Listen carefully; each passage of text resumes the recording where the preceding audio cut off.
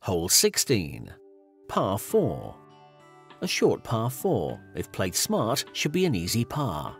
A well-placed tee shot towards the marker post will leave a short second shot. Any tee shots left could find the first lake on this hole. Your second shot needs to be accurate as the green falls away to the right, with another lake awaiting any loose shots. A big green with a big slope from left to right makes for a tricky two putt.